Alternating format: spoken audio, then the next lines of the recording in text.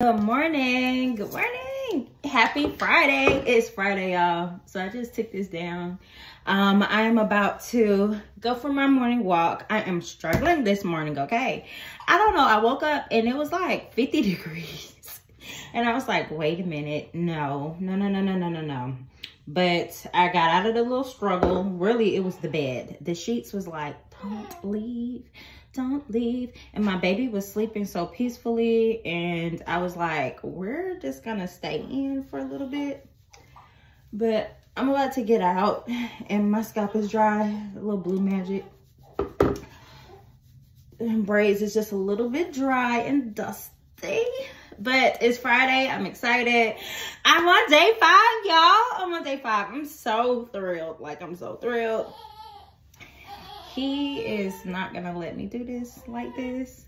So I'm going to make up my bed and catch y'all outside real quick. I think I'm gonna put this up in a bun though.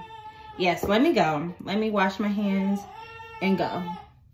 Masters is calling me, okay?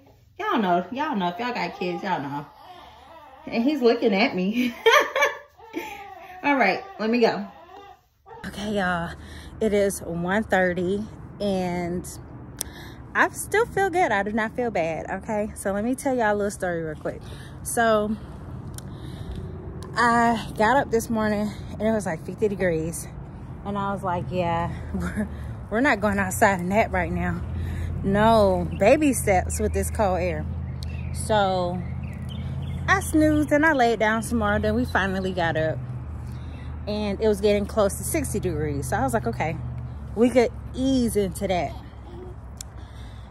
As I'm getting ready, I'm like, okay, this is gonna be cool. I'm gonna take my walk. Then I'm going to do my grow with Jo, pick my son up at two o'clock. So that means I have to leave my house around 1245-ish, 1250 um, to get here at least by two o'clock because we live a bit of ways away. So I gotta deal with traffic. So next thing you know, get a text message, Jalen is on Stone Mountain. I'm like, what kind of field trip? So I find out he's at Stone Mountain with his grandmother. Come to find out, they don't have school today. Come to find out, I missed it. Come to find out, we have a parent-teacher conference today. Come to find out, I had to leave the house kind of abruptly because, let me get it straight, I moved a little slow because of this one. Okay, when you got to pack up somebody else's whole life, plus your whole life, it might take a while. So I was like, okay, I almost got discouraged. Like, no, I have to do my walk. No, I, I have to get outside. So I was like, trying to rush myself to walk at home when I was like, no, we're going to walk at Jalen's school because it's connected to this really big, huge church and it's just nothing but parking lot. A whole lot of parking lot and hills. So i was like okay. I turned my discouragement into encouragement and i said you know what? My neighborhood is more flat ground and it's only just a little hill. But i was like tomorrow is going to be not tomorrow today. Today is going to be like a challenge walk for me because now it's hilly it's incline.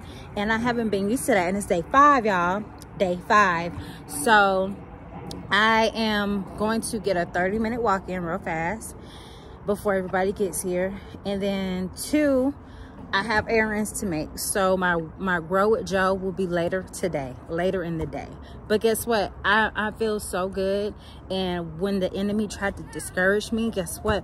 I'm still going to do it.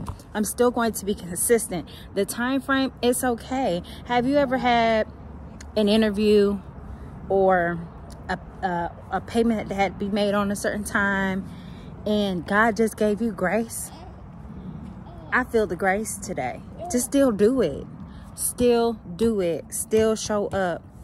Still put your all into it. That's why I know I can do all things through Christ who strengthens me. Because guess what? We're going to get to walking. Bye-bye.